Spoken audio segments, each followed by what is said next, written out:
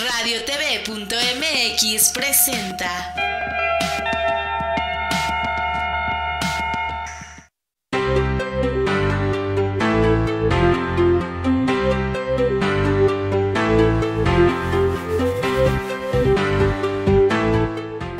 ¿Qué tal?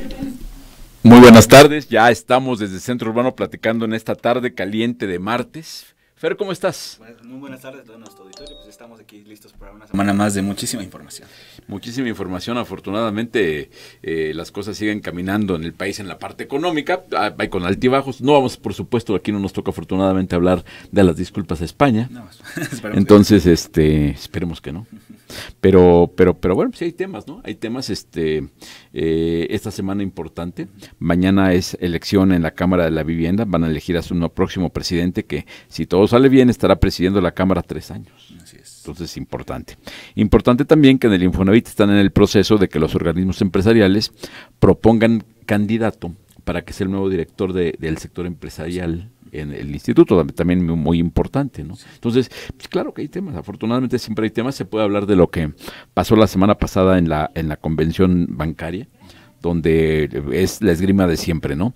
El presidente pidiendo mejores condiciones, más créditos, apertura, inclusión financiera, y los banqueros pidiendo condiciones, ¿no? Órale, ah, mejoro las tasas y tú me ayudas con esto.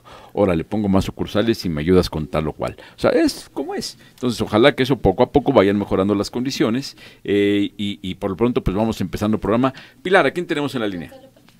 Gonzalo Palafox. Gonzalo Palafox, ¿cómo estás? Muy buenas tardes. ¿Qué tal, Horacio? Muy buenas tardes.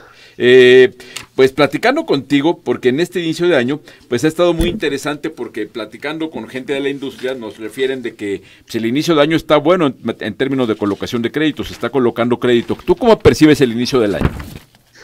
Mira, eh, yo creo que estamos transitando de una incertidumbre por la que se venía a principios de año a empezar a tener más claridad y sobre todo porque pues, al final el tema del crédito está vinculado a pues, la necesidad de comprar una casa, de obtener un financiamiento, es decir, no, no es un tema completamente independiente.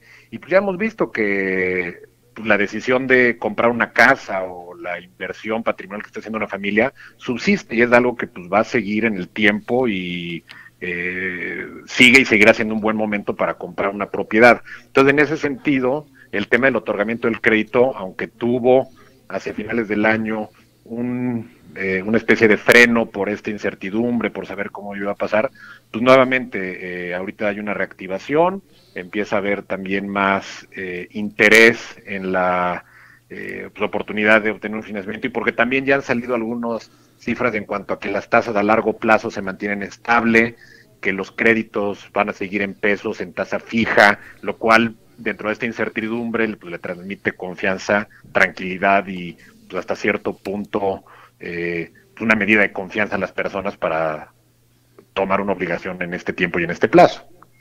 Eh, el hecho es que conforme van pasando los meses, la incertidumbre inicial se va disipando y algunas gentes que estaban aguantando su decisión de compra es posible que la estén retomando. Además, una, cosa muy interesante que ha pasado es que los promedios de crédito se han elevado. ¿Tú cómo percibes este, este tipo de financiamiento que están dando? ¿Cómo ves? Según la banca me decían que estaban más o menos en 1.3 millones de pesos de crédito promedio. ¿Cómo sientes esto?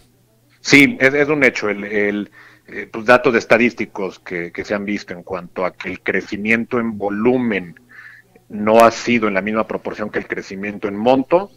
Eh, por la parte de lo que hemos analizado nosotros de NION, tiene que ver con dos elementos importantes. Por supuesto, la plusvalía, el crecimiento en valor de, de la producción de, de las casas, no solo obviamente de la producción de vivienda nueva, también es muy importante el financiamiento hacia vivienda usada y que esto significa que también están teniendo mejor valor, pero también en cuanto a la capacidad, porque si subieran el valor de las propiedades, pero a las personas no les alcanzara con sus ingresos para tomar un financiamiento y poder hacer frente a, estos, a este tipo de montos, es algo también notorio. Entonces, en nuestro caso también hemos visto que el monto de la hipoteca promedio se ha incrementado, estamos muy similares al, monto promedio que tiene la banca, alrededor de millón y medio de pesos, y esto habla también pues, que la activación y, como decías, de en medida de lo posible la clarificación de la incertidumbre hacia las personas del segmento medio, medio alto que tienen una, una un empleo, una actividad y están generando ingresos, subsiste y eso les permite tomar una hipoteca con condiciones adecuadas a la, a la, a la situación de mercado.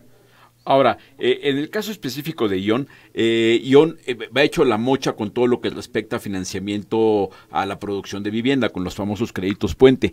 ¿Cuál ha sido el, el, el, proyecto que tienen para este año en cuanto a créditos individuales? ¿Hay, hay, ¿Cuál es el proyecto?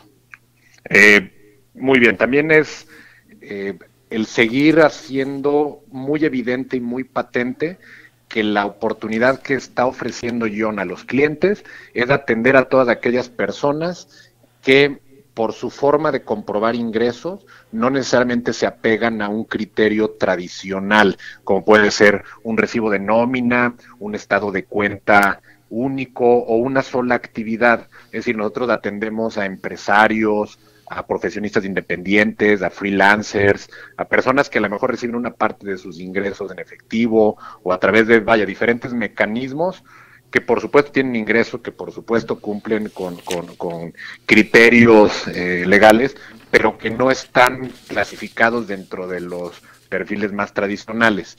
Eso obviamente denota que hay un mercado potencial muy, muy alto en, el tipo de actividad que, que existe en México y por supuesto, el modelo de negocio de Ion tiene un potencial de crecimiento altísimo. Este año vamos por montos de financiamiento por alrededor de 1.800 a 2.000 millones de pesos. Ah, bueno, ya cantidades muy importantes, porque la realidad es lo que tú mencionas. Por un lado está la demanda atendida por Infonavit y Fobiste.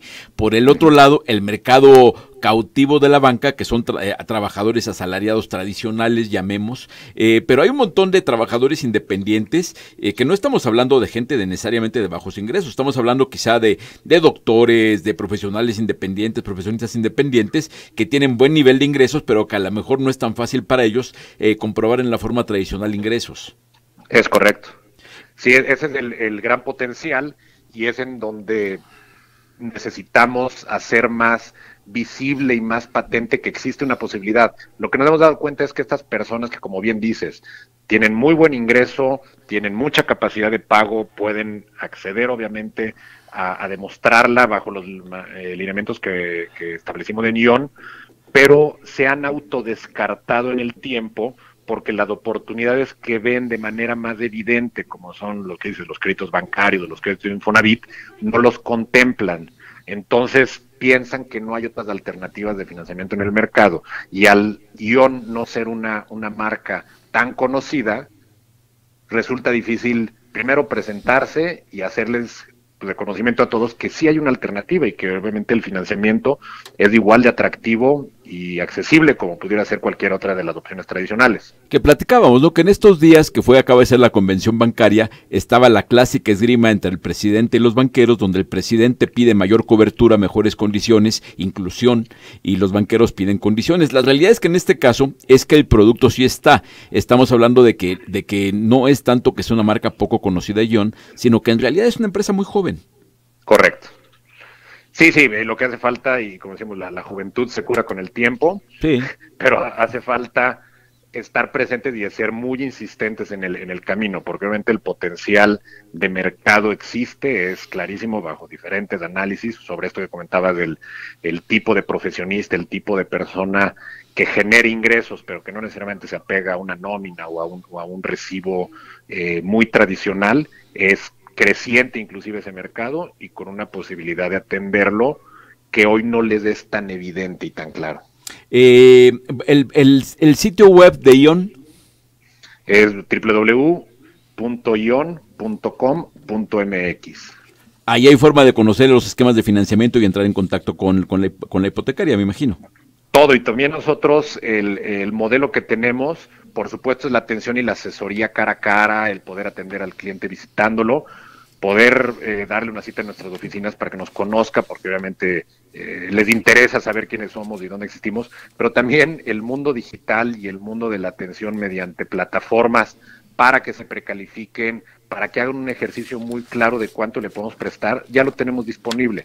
una persona podría prácticamente tramitar su crédito con nosotros punta a punta sin poner un pie en alguna de nuestras oficinas y todo mandándonos información a través de nuestras aplicaciones, a través de envío digital de la documentación y por supuesto obteniendo las resoluciones y las asesorías eh, de los mecanismos eh, y dispositivos móviles que mejor le convengan.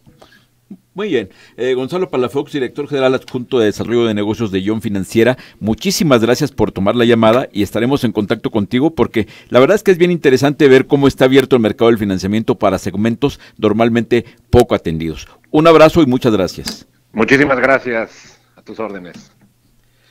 Pues ahí está. Es, un hecho de que, de que de repente la gente se nos cierra el mundo cuando tenemos un tema, un tema financiero y, obviamente en, el mundo de economías, las economías modernas donde hay tanto eh, trabajador independiente, freelance, todo esto, pues obviamente no es tan fácil llegar con un banco, oiga, quiero un crédito, porque los bancos pues tienen criterios más estrictos, ¿no? Pero con las con condiciones bastante competitivas em, empieza poco a poco a haber mayor número de opciones y a fin de cuentas de eso se trata, de que el sistema financiero dé solución para los segmentos de la demanda. Si eres de ingresos altos, de ingresos medios, de ingresos bajos, con comprobación de ingresos tradicional, con otro tipo de comprobación de ingresos, que haya soluciones para todos. Así es, sí, importante también esta apertura que está haciendo la, la, banca y todo el sistema financiero a la digitalización, a poder ofrecer, a ayudar a diversificar esta, esta oferta, sobre todo porque hay mucha demanda de créditos, no importa el segmento, y es importante esta labor que están haciendo para poder alcanzar más mercados.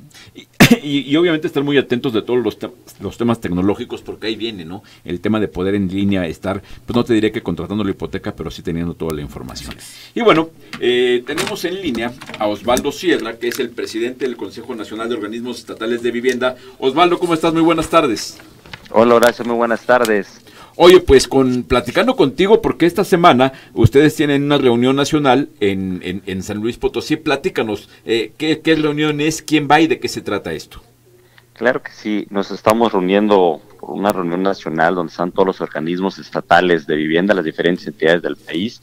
Ahí estaremos reunidos con el secretario Román Meyer y con todo su equipo de trabajo, incluidas la directora de CONAVI, el subsecretario Armando Rosales y también el director de suelo, el director general del, del INSU, del suelo urbano de Pepiracheta con la finalidad de poder ya llevar a cabo en un segundo paso lo que es la implementación del programa de vivienda social, este nuevo programa que sacó el gobierno federal en este, este ejercicio, y nosotros los organismos estatales de vivienda, pues bueno, ya vemos con premura poder llevar a cabo acciones eh, que podamos estar beneficiando a tantas familias mexicanas, ¿no? Que lo están demandando.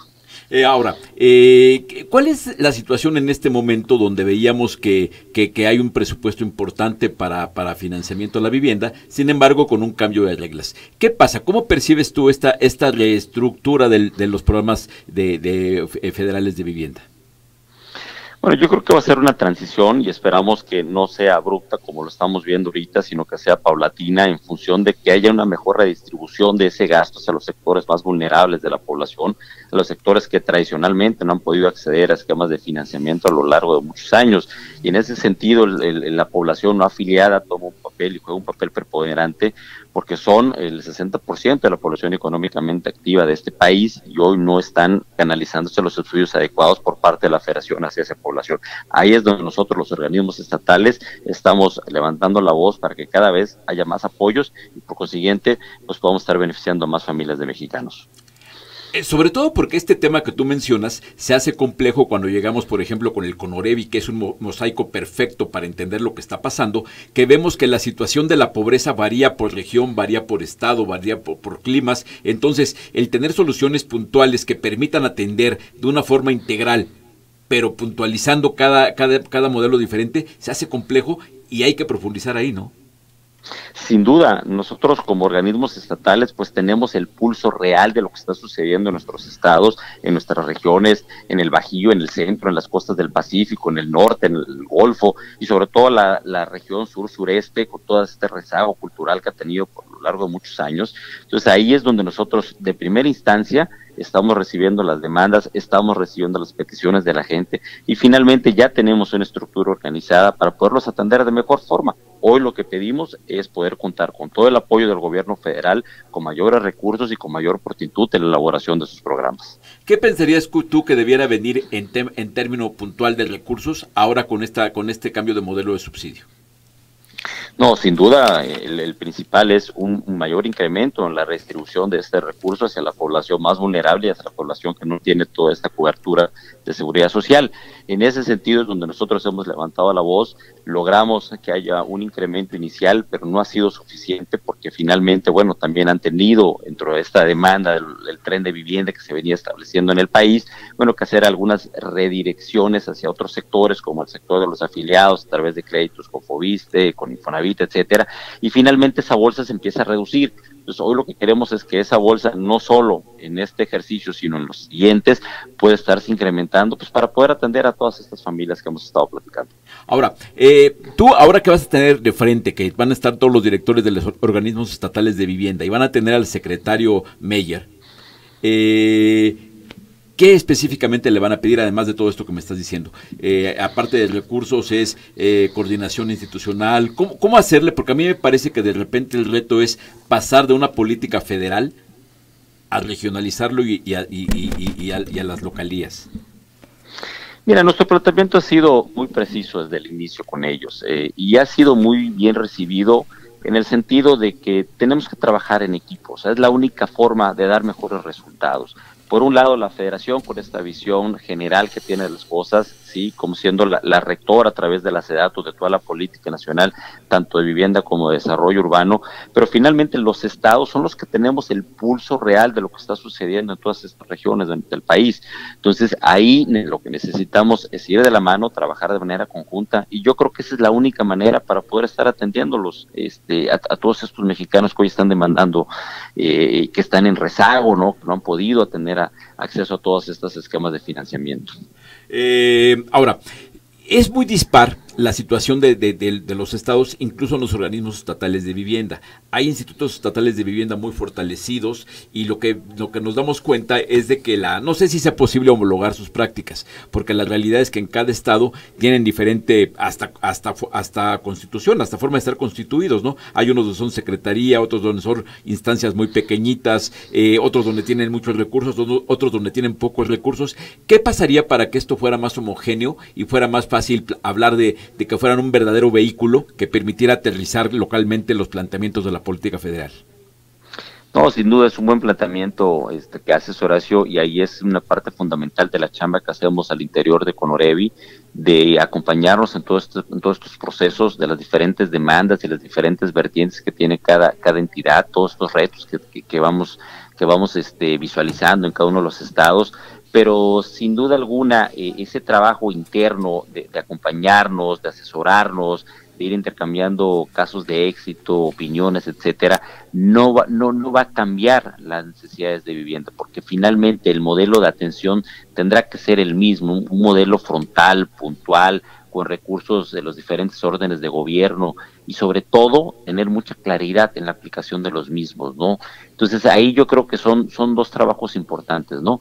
Reitero, por un lado, interno de trabajo, de, de, ser organismos cada vez más robustos, más eficientes en, en, términos de la atención hacia la, hacia la demanda de la población y por otro lado, sí seguir atendiendo lo que sabemos hacer y hemos venido haciendo bastante bien por muchos años, ¿no? La, atención dispersa en localidades urbanas, en localidades este, rurales, eh, eh, eso es lo que nosotros sabemos hacer y eso es lo que nosotros le estamos ofreciendo al gobierno federal, ¿no?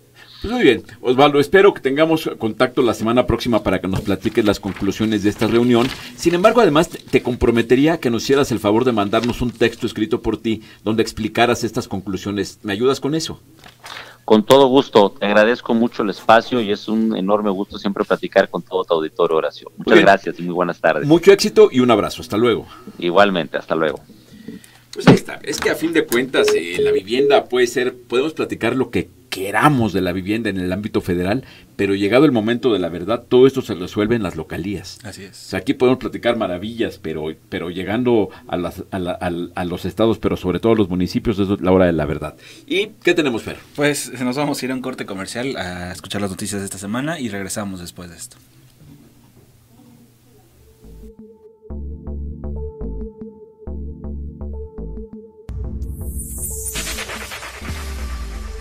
Estas son Publican versión final de reglas de operación para subsidio. La Secretaría de Desarrollo Agrario, Territorial y Urbano publicó la versión final de las reglas de operación del programa de vivienda social, esquema que contempla la entrega de subsidio bajo la modalidad de cofinanciamiento y que se concibe como la entrega de apoyo para la compra de vivienda. El documento publicado modifica las reglas de operación emitidas el pasado 28 de febrero. La SEDATU detalló que los cambios se deben a que la primera versión publicada no coincide con la versión autorizada por la Secretaría de Hacienda y Crédito Público. 8.030 trabajadores han recibido descuento del Infonavit. El Instituto del Fondo Nacional de la Vivienda para los Trabajadores reportó que a dos semanas del inicio en la ejecución del programa de responsabilidad compartida, 8.030 trabajadores han podido reestructurar su crédito y recibir el descuento de alrededor de 55% en promedio a la deuda de su financiamiento. De acuerdo con Carlos Martínez, director general del organismo, Ciudad de México, Nuevo León y Estado de México son las entidades que concentran el mayor número de acreditados beneficiados con el programa.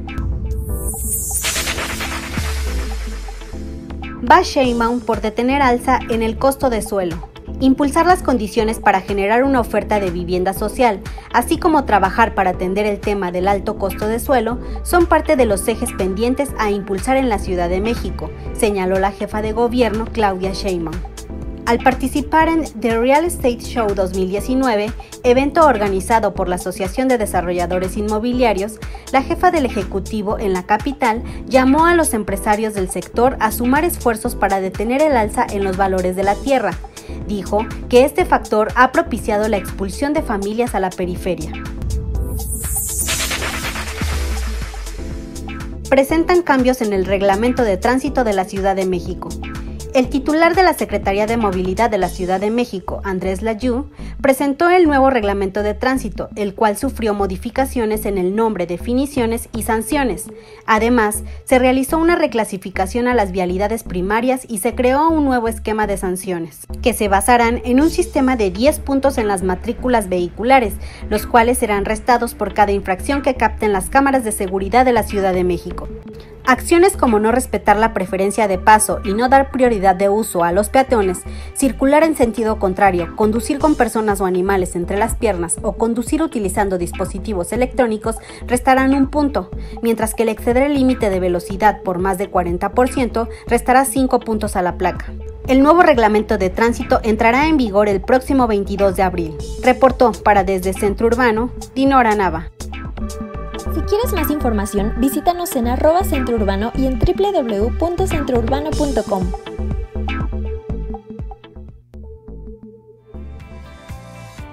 ¿Te gustaría ser parte de la tercera temporada de nuestra serie Vivienda y Ciudad? Escríbenos a relacionespublicas.centrourbano.com para más información. Encuentra la primera y segunda temporada en nuestro canal de YouTube, Centro Urbano, en la sección de Vivienda y Ciudad.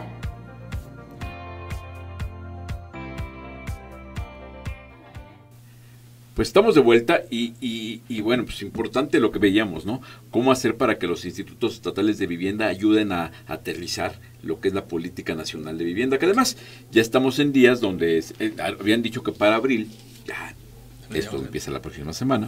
En abril deben pasar dos cosas de acuerdo con lo que dijo el Román Meyer y el presidente López Obrador, que es que se presente la nueva política eh, nacional de vivienda, muy importante, y la segunda es que se presenten los nuevos montos de crédito del Infonavit, importantes también. Yo me voy más por la trascendencia de una nueva política. Y bueno, en ese contexto de que esta nueva política nacional de vivienda esté, esté planteada y, y se haya explícita, pues muy importante que a nivel local estos institutos estatales de vivienda vienen siendo de alguna forma eh, una especie de Canadevi estatal, una un, Consejo Nacional de Vivienda Estatal, que se encarguen de ver cómo aterrizar todo esto, de vincular con municipios la política pública, porque el tema, insisto, el tema es bien importante cuando te pones a ver ya los temas de suelo, son localmente, los temas de servicios públicos son localmente, los permisos igual con los municipios. Entonces, pues ojalá que estos institutos de, estatales de vivienda se fortalezcan, logren de alguna forma medianamente homologar sus prácticas, porque ya lo decía yo platicando con el presidente del Consejo, con Osvaldo Sierra, la realidad es que entre todos los institutos estatales de vivienda hay unos que son muy grandes, hay unos que son muy chicos, unos tienen mucha lana, unos que tienen poca lana, uno que tiene muy buenas facultades en la constitución de sus estados, que son incluso secretarías, y otros que son apenas un apéndice dentro de una secretaría. Entonces, en función de eso está su fortaleza, ¿no?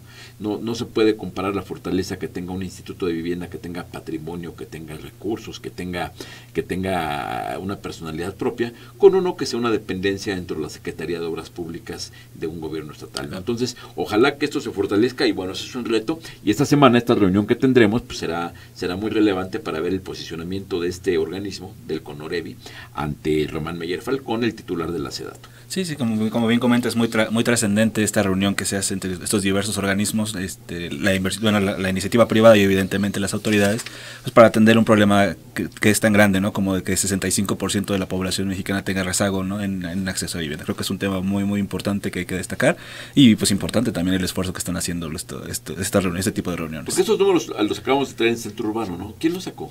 Eh, Ceneval, Coneval. Parece que sí fue los de, de, Coneval. No tengo tampoco, no recuerdo muy bien el dato específico, pero este, pero tengo también más, ese es más o menos el panorama de. Pero es lo que hemos estado diciendo siempre y lo que en el centro urbano tenemos ya como un mantra de que 70% de la población no tiene acceso a la vivienda y cada vez menos porque lo que está pasando es que ese, la gente no cambia eh, significativamente su ingreso, pero lo que sí cambia drásticamente son los precios de las viviendas que se nos están yendo de las manos, ¿no? Entonces urge una política urbana que se pueda plantear en, instrumentos locales de planeación y regulación para que se pueda generar vivienda económica. Urge, eso nos está, nos está matando porque está condicionando las calidades de vida. Y fíjate que precisamente yo estaba escribiendo hoy algo sobre, sobre los índices de calidad de vida del mundo y, apareció una clasificación que hace Mercer, una consultora internacional, donde refleja la, la, evaluación que hacen a 231 ciudades del mundo eh, en cuanto a calidad de vida. Y, no sé si viste cuál es la ciudad con mejor calidad de vida del mundo.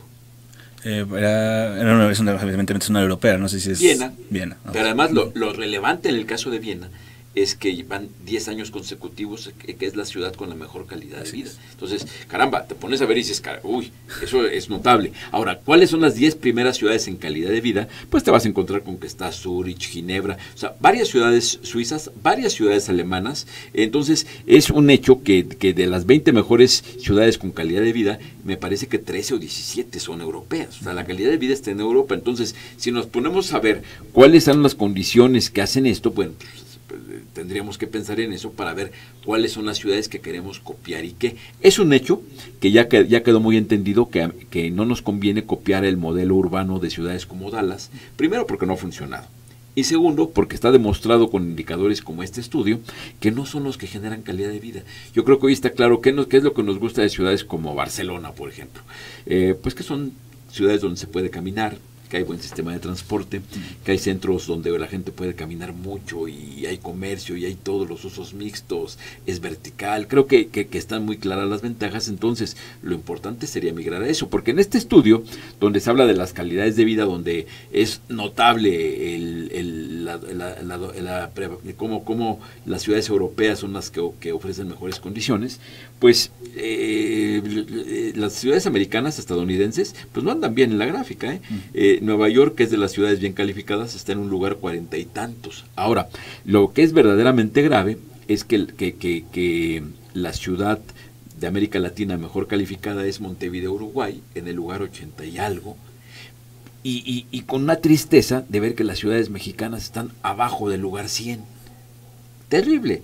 Esto no es aceptable porque en la medida que nos alejemos de los primeros lugares, pues no solamente perdemos calidad de vida, sino que si entendemos cómo hacen la evaluación, pues consideran 10 indicadores y quiere decir que para que estemos tan mal en calidad de vida, quiere decir que seguramente en seguridad somos un desastre, en, en, en, en, precio de la vivienda seguramente somos un desastre, en, potencial para desarrollo económico pues, tampoco andamos lo bien que deberíamos estar, porque a fin de cuentas la calidad de vida no es una cosa per se, ¿no? Es la suma de varios factores. Entonces, cuando nos, ponemos a ver, a ver, ¿en qué factores andamos mal? Esa sería yo creo que la tarea que tendríamos que entender como, como, como una nueva sociedad, que entendamos que para construir calidad de vida hay que construirla parchando cada una de nuestras carencias. ¿no?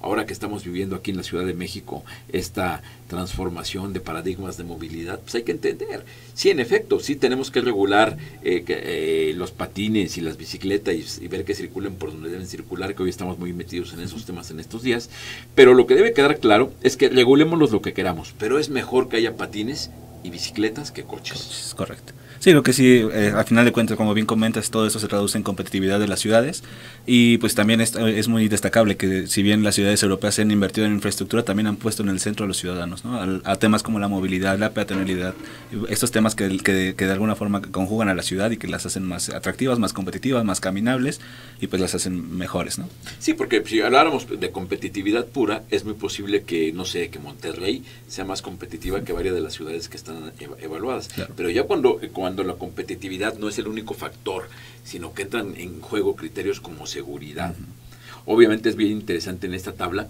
ver el, el, el declive evidente de, de, Bogotá, por ejemplo, ¿no? Uh -huh. Cómo está en el lugar 222 de 231 entre las ciudades más violentas del mundo y más inseguras del mundo. Y obviamente te pones a ver ¿qué puede estar más inseguro que, que Bogotá y Sainanita?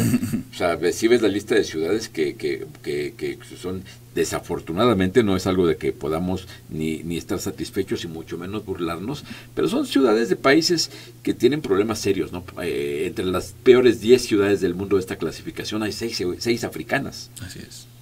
Terrible seis africanas, dos de Oriente Medio, una de América y, y, y una solamente eh, eh, europea. Sí, así es. Son, es, es, revelan problemas muy serios, ¿no? De seguridad, sobre todo, y, y deficiencias en, este, estructurales dentro de Sí, seguramente, obviamente, si nos podemos saber las deficiencias que tenemos que compensar, pues el transporte público. Eh, aquí en México, por ejemplo, que en nuestras ciudades que hace falta vivienda, uno de los argumentos para que no se haga más vivienda es la falta de agua. Y, y, y son temas que tendrían que, que, implicar aquí invertir en agua. O, obviamente, yo, yo, yo entiendo que hay que hacer muchas, muchas cosas en la ciudad, pero una prioridad en las ciudades mexicanas es garantizar el abasto de servicios públicos. Porque si no hay eso, no se podrá atender la demanda de vivienda. Y si no hay vivienda, pues obviamente una ciudad donde sus, sus habitantes tienen que salir, incluso en el caso de la Ciudad de México, a horas de distancia para encontrar un lugar donde que puedan pagar para vivir, pues no es un lugar con calidad de vida. Sí, sí, sí, lo dijo muy bien la, la jefa de gobierno de la Ciudad de México la semana pasada en el evento de, de, de ADI, ¿no? del Real Estate Show, pues a, a, para seguir para poder este contemplar este desarrollo sustentable primero hay que atender los problemas este, sus, eh, sustanciales eh, hídricos ¿no? y estructurales en infraestructura ¿no? sí por supuesto tenemos algo no, me parece que no ah, este, ah, es, que, es que nos distraen aquí en producción hombre sí. yo, yo no, no sabía si estaban me, estaban me imaginé que ya nos estaban traduciendo el lenguaje sordomudos. Dije, caramba, producción ya Qué se avanzado. Pero, pero no. Pero bueno, sí. seguimos con esto, este, este, este tema. Y sí, a mí, a mí me parece notable que, que, que Claudia Sheinbaum decía esto, ¿no? Y ciertamente, o sea, para poder pensar, la Ciudad de México requiere por lo menos 40 mil viviendas al año y se están haciendo menos de 10 mil. Esta es evidente que, que, que, que, si se requieren 40 y se hacen 10, pues hay un rezago importante. Pero eso, lo más notable de esto es que al haber tan poca vivienda en proporción a la demanda, es que la vivienda se encarece. Ese es el verdadero problema. Porque si se hicieran 10 mil viviendas, pero hubiera de todos los segmentos, bueno, habría pocas, pero habría. El tema real es que no hay una sola vivienda de, de, de, de pues, ¿qué te diré? Eh, el 60-70% de la población puede pagar una casa de 600 mil pesos. No hay una sola en producción en la Ciudad de México en ese recurso. Claro que sí. Ahora sí la jefa de gobierno decía que las causas, una de ellas era el precio del suelo, pues sí, hay que el precio del suelo, el precio del suelo es resultado de la infraestructura, de los servicios públicos y de la regulación. Así es. Carlos Medina. Tenemos en la línea a Carlos Medina. Carlos, ¿cómo estás? Con el gusto de saludarte a ti, Horacio, y a toda tu audiencia. Pues querido Carlos, pues tenemos pues, días importantes, ¿no? Días importantes con, con, ya en espera de que al fin venga en abril la promesa del presidente López Obrador de una nueva política de vivienda. Eh, ¿Cómo lo sientes? Pues mira, estamos eh, en el sector, sobre todo de vivienda social, eh, con mucha expectativa de que ya llegue abril. Hemos tenido eh, en este tema tres meses pues de trabajo y de espera porque pues estamos todavía con dos temas importantes, los famosos recursos de subsidio que todavía no se han abiertos y que parece que sería hasta abril.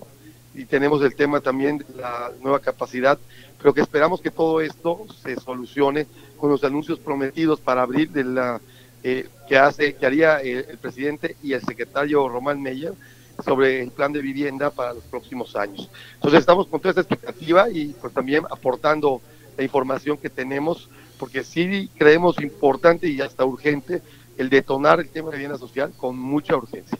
Ahora, casos particulares como el de la Ciudad de México, que estamos viendo la semana pasada que se llevaba a cabo, a, cabo en la Ciudad de México el Real Estate Show, el evento del ADI, eh, veíamos que era evidente que la, la, jefa de gobierno habló de la necesidad de hacer vivienda social. Sin embargo, habló también de que el detonante de que no hubiera esta vivienda es el costo del suelo. Eso tiene que ver con regulación, ¿no? Bueno, por supuesto, hay que, hay que ponerlo bien en contexto. Tema, es parte tema de costo de suelo, pero muy importante es eh, la regulación. Tenemos análisis, a veces en la regulación llega a ser hasta el 18% del valor de la vivienda. Esto estamos hablando de los permisos y de toda la tramitología que encarece muchas veces la vivienda, este, y que, y que si no se va optimizando y mejorando, se vuelve un, un elemento que encarece la misma y que deja de ser vivienda social como ha estado pasando. Ahora, eh, de estos temas que tú hablabas puntualmente, que, que eh, esta esperanza que tenemos en abril, eh, se decía que el, el, 1 de abril empezaría la dispersión de los 400 millones de subsidio. ¿Sería esa, esa sería la expectativa que inmediatamente el 1 de abril empezara esta dispersión? Mira, la realidad es que nosotros la escuchamos en enero y han pasado febrero y marzo y, y, esperábamos cada uno de estos meses entrar. El último anuncio que tuvimos, como bien conoces, es que sea abril. Y sí esperaríamos que fuera prácticamente iniciando abril, dado que ya suman más de cinco meses, este, finales de octubre, vamos a poner noviembre, diciembre, enero, febrero y marzo, que no se están pudiendo entregar vivienda social a falta de este apoyo. Y que si bien daría para unas 6, 7 mil casas, hay muchas familias que están en espera y se han dejado de entregar más, más o menos entre 30 y 35 mil viviendas que si hubiera recursos se hubieran podido entregar. Entonces esa es la magnitud de la importancia que tiene que ya arranque. Sí tenemos la expectativa que sea a inicio de abril, pero estamos esperando pues, una confirmación clara con fecha para que podamos eh, prepararnos en ese momento. Ahora, mañana hay consejo del Infonavit. Es correcto, mañana hay consejo del Infonavit y ahí estamos este, convocados. ¿Y, y se espera que mañana se presente eh, eh, el nuevo monto de, de, de, crédito? Mira, se espera que se toque el tema, pero no tenemos la confirmación si se va, si van a presentar por parte de la administración la propuesta para aprobarla todavía. Eh, para nosotros sería muy importante que así sucediera, pero como consejeros eh, lo que estamos entendiendo es que todavía sigue en análisis y estudio y que pues tal vez no sea mañana, sino hasta el Consejo de Abril, eh, cuando pudiera ser. Eh, la realidad es que es un tema relevante, importante, es el, vamos, es lo que han presentado por el gobierno federal como compensatorio de subsidio, que si se da sería quizás mucho mejor que subsidio, si funciona como hemos escuchado que pudiera eh, accionar, pero tenemos que verlo, tiene que estar, porque mientras eh, tenemos vivienda que no se puede entregar y pues según los números del RUP, y lo podemos ver claramente, ha paralizado la inversión en vivienda social. Ahora, el tema es que ahora que se presente la nueva política de vivienda, eh, se tendrá que ver, siempre ha sido uno de los objetivos, que la cobertura sea integral, que haya cobertura para todos los niveles de ingresos, bajos, medios, altos, muy bajos y, bueno. Y está claro que esto, en el caso del Infonavit Fobiste, se está atendiendo y si se, si se da el cambio de monto de crédito, será atendido pues, de muy buena forma, como tú dices, quizá de una forma más sana y sustentable que el subsidio. El otro gran pendiente que queda, que incluso era una parte de los objetivos de, de, Román Meyer cuando presentó su famoso Amblópolis, era el programa famoso de no afiliados. ¿Qué pasa con todo este derecho a financiamiento eh, para los que no son derechohabientes de Infonavit y Fobiste? ¿Se ha trabajado algo? Sí, hay un avance, este, no, no, todavía no tenemos el programa eh, listo, pero sabemos que a través de Sociedad Hipotecaria Federal se está trabajando y se está avanzando en el no afiliados. Eh, como recordarás, nosotros llevamos años solicitando esto, eh, dado que de los 9 millones de viviendas en rezago, que más de la mitad son no afiliados y hoy no tienen una posibilidad y es una, pues una población que no ha sido todavía, uh, bueno, eh, no nos hemos acercado con una herramienta adecuada y que hoy tenemos la gran expectativa que se pueda dar.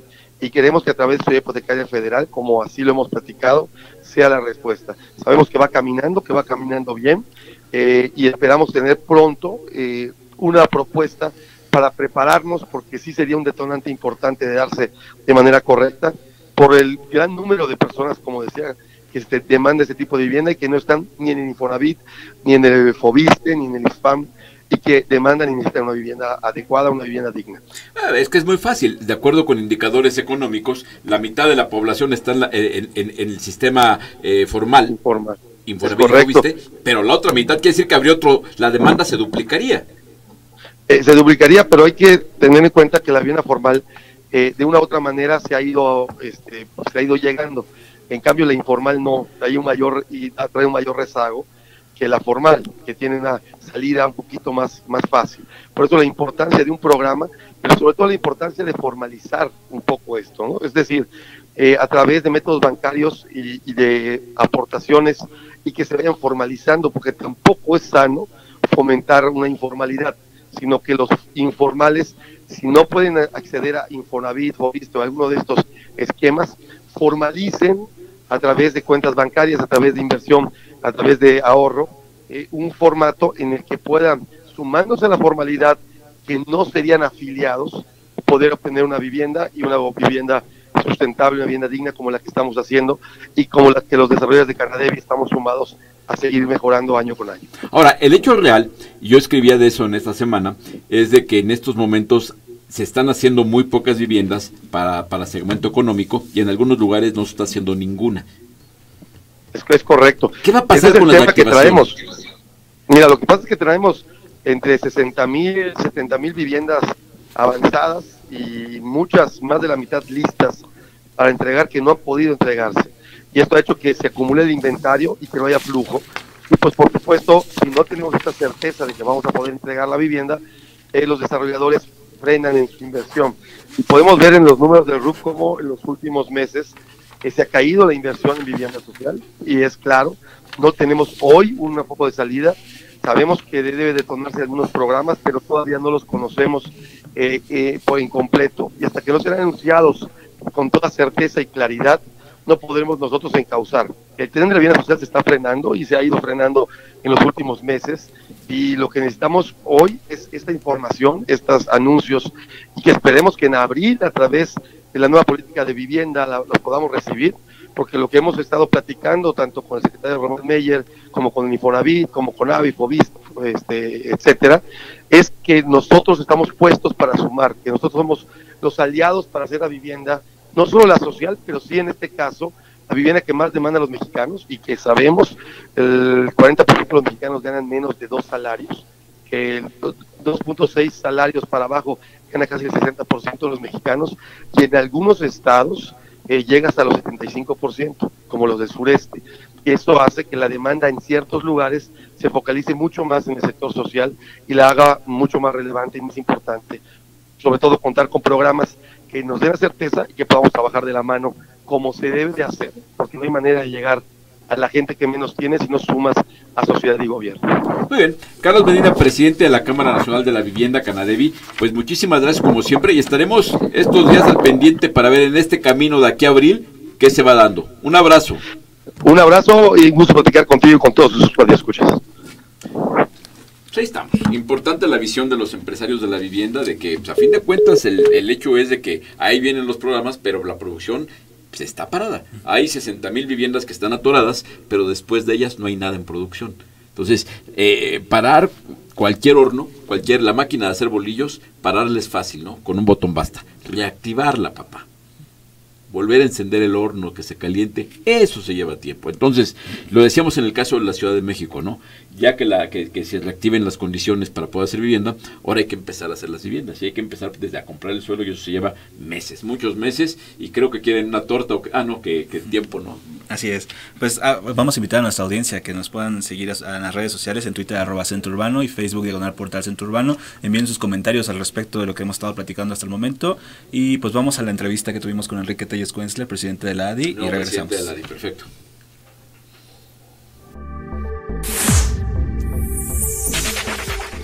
La Asociación de Desarrolladores Inmobiliarios, ADI, buscará mantener inversiones importantes en el sexenio Por ello, de acuerdo con Enrique Telles Kuenzler, presidente de la asociación, los desarrolladores ya trabajan con las autoridades de los diversos niveles para definir los planes de desarrollo y sobre eso poder detonar las inversiones en el sector. Entrevistado por Centro Urbano luego de rendir protesta como nuevo presidente de la ADI, Telles Wensler destacó que el país vive una etapa de transición, por lo que los empresarios del rubro están atentos a los planes que impulsen los nuevos gobernantes. Estamos en un momento de transición, estamos eh, en el país, ha habido cambio a nivel federal, estatal y municipal y estamos trabajando con los diferentes órdenes de gobierno eh, para determinar sus eh, nuevos programas de desarrollo urbano y en la medida en que los tengamos vamos a detonar las inversiones para el sector. ¿Ya tienen cifras de más o menos inversiones? estamos trabajando en la mano para entender y detonar los programas y a partir de ahí nosotros detonaremos las inversiones. Cuestionado sobre la situación observada en la Ciudad de México, en donde se ha visto un freno para el desarrollo inmobiliario por diversos motivos, Telles Wensler reconoció que la capital mexicana se convirtió en los últimos años en un polo de inversión importante. Sin embargo, dijo, hay otras regiones del país que han mostrado un gran dinamismo y oportunidad para la inversión inmobiliaria. La Ciudad de México es uno de los polos importantes, pero estamos viendo un crecimiento igual o más acelerado en otros lugares y eso se refleja ya en las inversiones del ADI. Eh, obviamente la Ciudad de México representa una parte muy importante de la economía y eso se refleja, aunque ya estamos ya se han visto polos de mayor desarrollo en el resto del país. ¿Cuáles serían algunos polos que mencionan? Eh, Riviera Maya, Riviera Nayarit, eh, la Baja California, en el norte del país, toda la parte industrial, en el Bajío y occidente del país.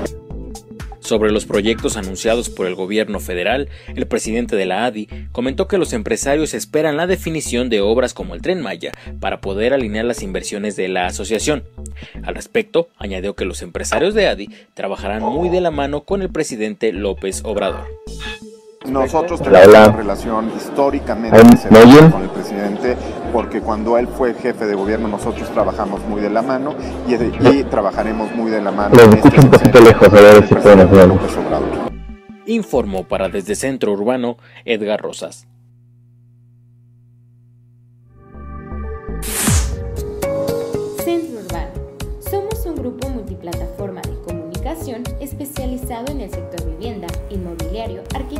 Construcción.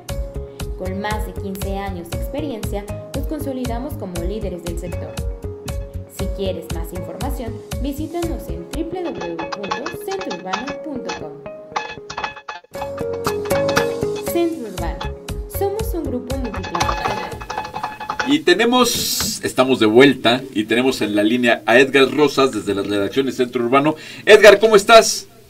Arquitecto Horacio, ¿cómo está? Un verdadero gusto saludarlos y compartir otra vez este espacio con todos ustedes y con todos escuchas.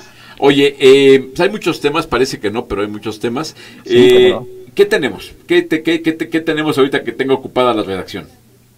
Pues ahorita por lo pronto, ya como bien lo mencionó antes de, del corte, marzo, abril, perdón, es uno de los meses claves o icónicos en el sector de la vivienda.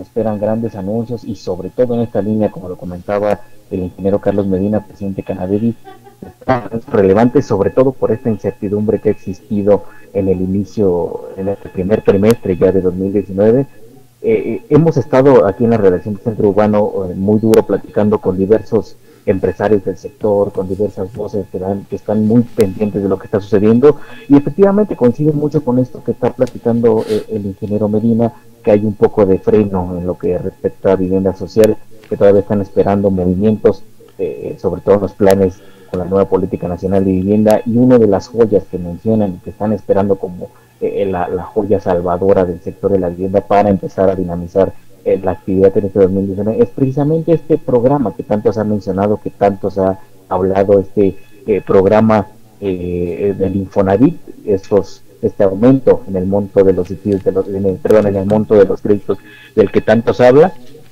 y que sin duda habrá que estar, habrá que esperar qué es lo que trae, porque si bien es cierto que se habla de montos eh, de aumentos en la capacidad de crédito de, los trabajadores, eh, eh, la realidad es que hace unas semanas platicábamos con el director del Infonavit y él decía que se está analizando muy a detalle esta situación porque si bien se quiere aumentar la capacidad de crédito de los trabajadores, esto no se tiene que hacer a expensas de la fortaleza financiera del instituto, porque como sabemos, eh, incrementar la capacidad de crédito a, los trabajadores implicaría un costo para el instituto, implicaría eh, también eh, el rendimiento porque otorga la su cuenta. Entonces, es un poco lo que decía Carlos Martínez, que están trabajando muy, muy, muy, muy a detalle de este programa para que este programa no represente un beneficio para algunos, pero que, se represente una afectación en términos generales para la estructura del, Instituto Horacio.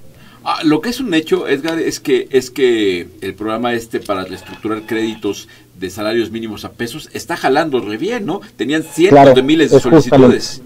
Justamente, hoy hablábamos, hoy hubo conferencia en Infonavit, firmaron un convenio de colaboración con el INAI, con el Instituto de Transparencia, y justamente el director tocaba sobre el tema de responsabilidad compartida decía que ya hay casi un mes de que se cumpla que se inició, eh, que se anunció el, programa.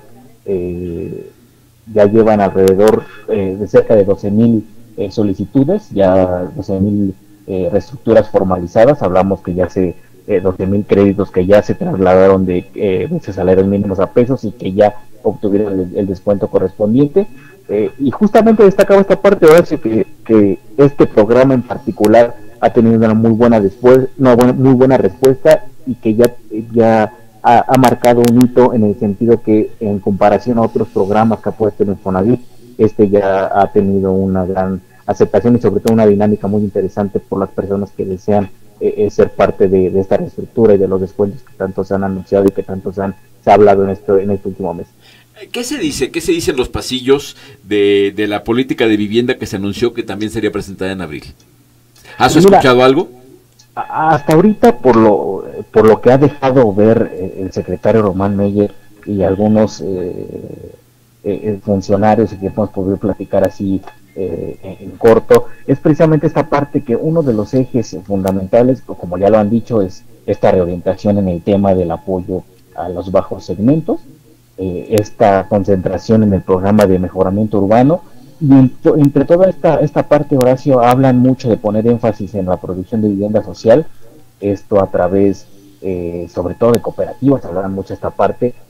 Eh, en cuanto a vivienda, digamos, a la producción de vivienda nueva, este, no, no se ha, profundizado en el tema, pero estos son algunos de los detalles que se han empezado eh, a, dar o que se escuchan en, en este, en este pues, off the record, digámoslo así todavía no hay ciencia cierta de qué es lo que podría venir. Eh, hace unas semanas también platicábamos justo con, la doctora Edna con la titular de CONAVI, platicábamos un poco de estos 400 millones de pesos que, se aprobaron eh, extra para atender la demanda de subsidio, que como decía el ingeniero Medina, aún no se liberan, se espera que ya en abril empiecen a, dispersarse, pero platicamos un poco de esta de cómo se iban a liberar las reglas de operación, ella decía que en términos generales las reglas de operación del programa venían similares a lo que se venía a las reglas de, 2018, es decir, con la que se ejecutó el programa en el último año de la administración anterior, decía que se iban a mantener también los perímetros de contención urbana hasta el momento en lo que eh, los mejoraban o los actualizaban para eh, eh, hacer mejor la repartición de los, de los subsidios. Y esta parte que también el subsidio se iba a, empezar a, repartir un poco en las entidades con el mayor rezago, como eh, si recordamos, uno de los temas que se puso a discusión en, el último año de la anterior administración es precisamente que el subsidio se, se dispersaba no en los lugares donde había más rezago, sino donde había más poder adquisitivo, donde más se, se, solicitaba el crédito. Entonces es una de las partes que platicamos justo con, con la doctora Navega y, estamos a la espera ahora de, de todas esas eh, de toda esta información que sin duda representará eh, pues, noticias nuevas para, ver cómo, eh, cómo, cómo, cómo, va a pintar el 2019 para el sector de la vivienda. En esta tónica que te comentaba de que hemos platicado con algunos desarrolladores, bien decían que eh, desgraciadamente ya son tres meses que toda esta información por lo regular se, se daba antes para empezar a perfilar metas para el año, ahorita están un poco estancados, todavía no tienen claro qué es lo que pueda suceder ni qué es lo que puedan plantear porque no hay reglas claras sobre eh, hacia dónde se va a dirigir el sector, entonces habrá que esperar a ver qué, qué, información nos dan las autoridades en abril y por dónde irá un poco ya eh, el sector de la vivienda en 2019. Muy bien, Edgar, muchísimas gracias como siempre, estamos en contacto. Estamos en contacto, Horacio, y nada más comentarte, eh, por último, el jueves hay, eh, se nos anunció que hay conferencia del Infonavit, por lo poco eh, se nos comentó que está preparándolo con el IMSS, no sé si esta conferencia sea para anunciar esto, pero hay conferencia el jueves del Infonavit para que estén atentos a la información que se pueda generar. Muy bien, un abrazo. Un abrazo. Pues ahí está desde la redacción del Centro Urbano, calientito todos los temas. Así es. ¿Qué tenemos? Eh, vamos a ir al reportaje de esta semana. Eh, antes quisiera recordar a nuestra audiencia que eh, nos, nos visite nuestra página en Facebook, Diagonal Portal Centro Urbano, y Twitter en arroba Centro Urbano, y envíen sus comentarios. Regresamos.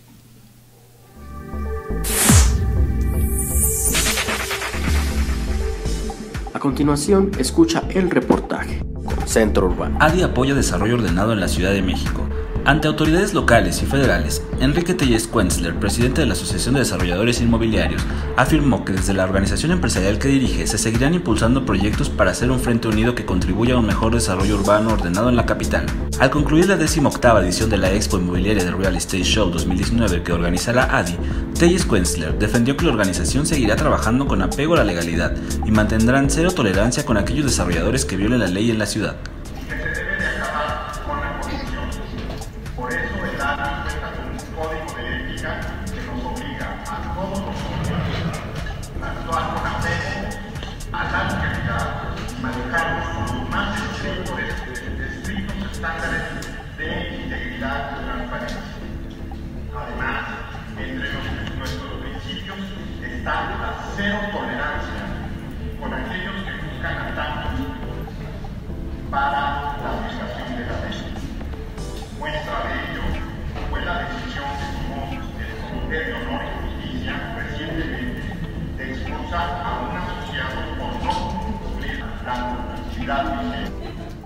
Al respecto, la jefa de gobierno Claudia Sheinbaum Pardo dijo que para poder crecer de forma ordenada se necesita de la participación tanto de la sociedad como de las autoridades y los desarrolladores, sin tener que abusar de instrumentos como los polígonos de actuación, pues los usos de suelo existentes en la ciudad pueden dar para el desarrollo suficiente de la capital.